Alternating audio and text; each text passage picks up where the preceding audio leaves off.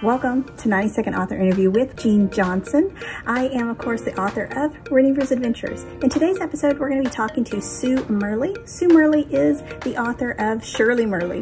If your child enjoys reading rhyme books, they're going to love Shirley Murley. We're also introducing you to new authors and books, of course, that you can add to your child's library. Let's get right on into it. Hi everyone, I'm Su Murley and I'm the very proud author of Shirley Murley. My inspiration to become a children's author was a lifelong passion for rhymes and poems. I think in rhyme, yes, all the time from six till nine, but it's fine because the pleasure's all mine.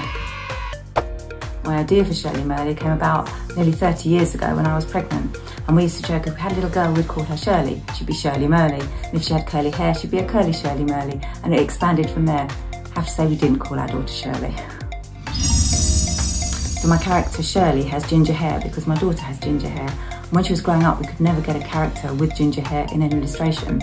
We described myself, my daughter and my husband and we've become cartoon characters in Shirley Murley, which I think is pretty cool. I have a few more ideas and I'm hoping I'll get another book published in the next year. Thank you so much for spending time with me here on my 90 second author interview. And if you want to know more, please get in touch. Remember, there's always time to rhyme.